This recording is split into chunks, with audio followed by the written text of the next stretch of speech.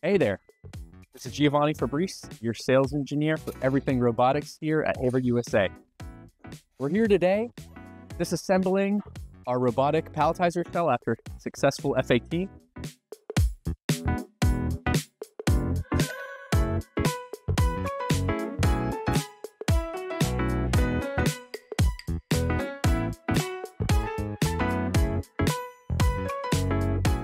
Here behind me is our standard Amicus robotic palletizer cell featuring bag flattening for perfect palletization, a reject station for non-conforming bags, and we have our three-in-one end-of-arm tool, fully equipped with slip sheet and pallet pickup from their respected magazines, and our gripper tool for palletizing the bags.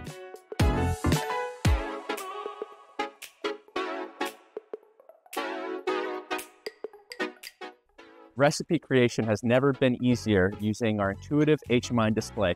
Simply plug in your bag dimensions and your pattern, and you're good to go.